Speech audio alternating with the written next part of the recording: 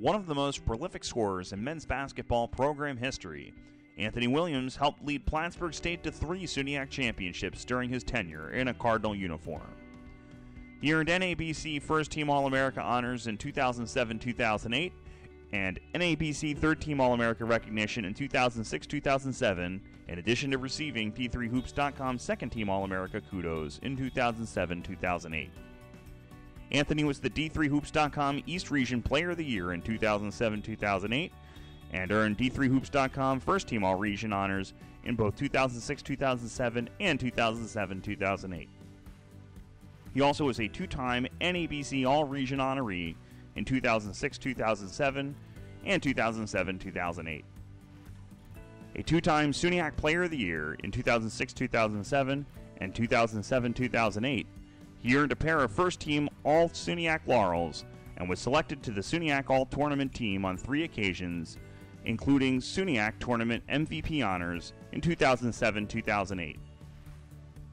Anthony holds the career program record in free throws made and ranks second all time in scoring with 1,734 points. Anthony played at, at Robeson High School in Brooklyn, and I had recruited several players from Robeson prior to Anthony, and uh, had one on the team that year, Curtis Smith, who was a high school teammate of, of Anthony's. Um, so I had a, a, real positive relationship with the coach, and uh, Anthony wanted to transfer, and he was a Division One player at Morgan State as a freshman and started for them.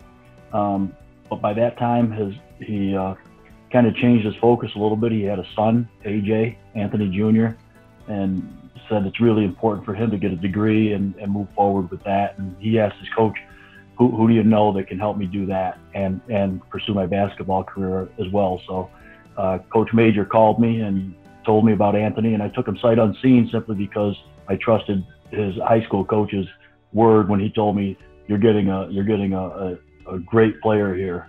And uh, the other thing that, that I really liked was that you know a lot of times you get a player of his caliber, you ask them to do things these because it was a last minute type thing. Um, this has to be done by noon tomorrow and it'd be in at 10 a.m. the next day. You know, and he was he, he followed through on every step of the process. Once he made up his mind that that he had this is what I want to do and this is where I want to go, he followed through on every part of it. And um, you know, so he once he attended, um, we didn't even realize what we had. First of all, he was uh, one of the strongest guards I've ever coached, um, and he he just uh, worked on his game constantly. He spent the summer in Plattsburgh, um, going into his senior year, and he'd run up to Stewart's and back every day. So he'd run up to that up that up to Stewart's that mile and then run back. And you know he wasn't he wasn't a runner by any stretch, but he knew that this is something that he wanted to be great, and he worked at it. When we when we first got him, he was not in great shape. He had been two years away from the game, but he worked on his conditioning as as much as anybody, and worked on his game as much as anybody. So it wasn't a fluke that he was great. It was it was it was steeped in hard work. By the time he was a senior, I thought he was a very good leader um, for the for the program, and a, you know, and he has since gone on to be a very good representative, lifelong representative of Plattsburgh State athletics and Plattsburgh State basketball and uh, Plattsburgh State University in general.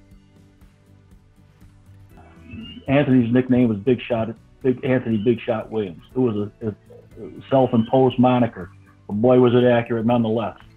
Um, and and you know you can't you can't think of Anthony without thinking of the shot that he made uh, versus Rochester in the first round of the NCAA tournament, where we were down we were down one uh, we fouled, put them on the line, and I think they made one of the two free throws.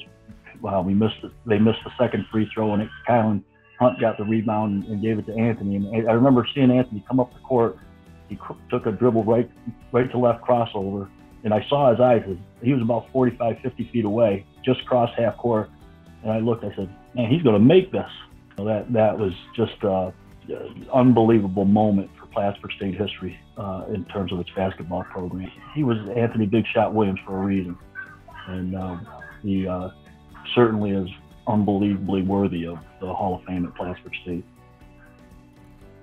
Anthony did not have an easy life. Both of his uh, parents passed away. Um, he was the, the, dominant figure in his family. Um, his sister is a graduate from Plattsburgh State. His brother is a graduate of Plattsburgh High School.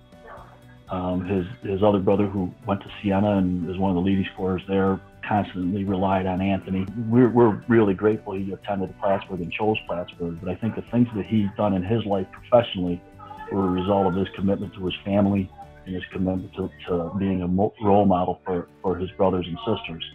And uh, he's continued that and has carries out that same role for countless students um, at, at, Middletown High School and juniors high school. And, and so his life as a professional is kind of a continuation of his life as a, a, a young man that, that had to take on more responsibility than he was maybe ready to assume at the time. Um, and I think that Plattsburgh had an important part of that, and Plattsburgh's part of the story.